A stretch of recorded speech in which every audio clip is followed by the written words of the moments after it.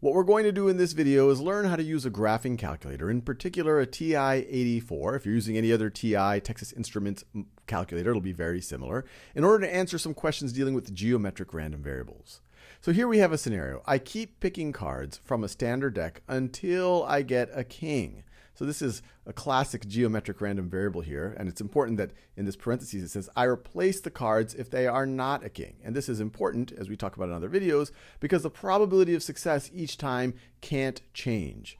And so we could define some random variable, x, this is a geometric random variable, as being equal to the number of picks until, until we get a king. Until we get a king when we replace the cards if they are not a king. And for this geometric random variable, what's the probability of success on each trial? And remember, one of the conditions for a geometric random variable is that probability of success does not change on each trial. Well, the probability of success is going to be equal to, there's four kings in a standard deck of 52, and this is the same thing as 1 over 13. So this first question is, what is the probability that I need to pick five cards? Well, this would be the probability that our geometric random variable x is equal to 5. And you could actually figure this out by hand.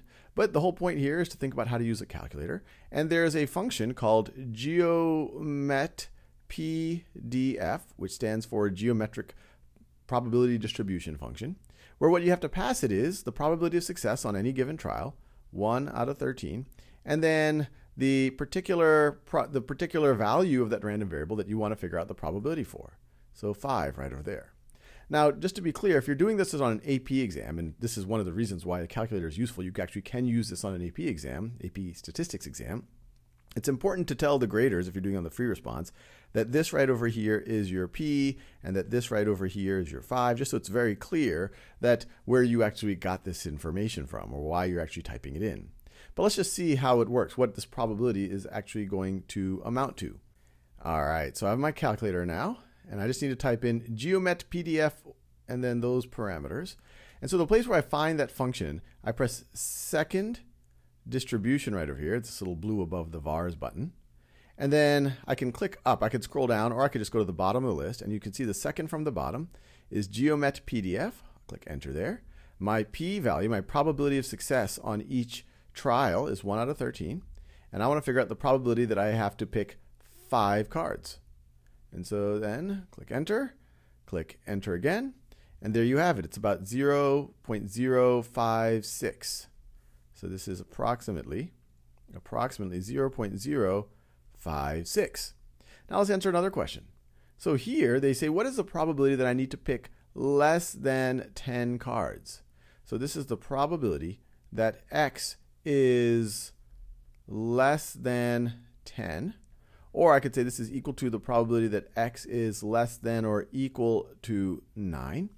And I could say, well, this is the probability that x is equal to 1 plus the probability that x is equal to 2 all the way to the probability that x is equal to 9, but that would take a while, even if I used this function right over here. But lucky for us, there's a cumulative distribution function.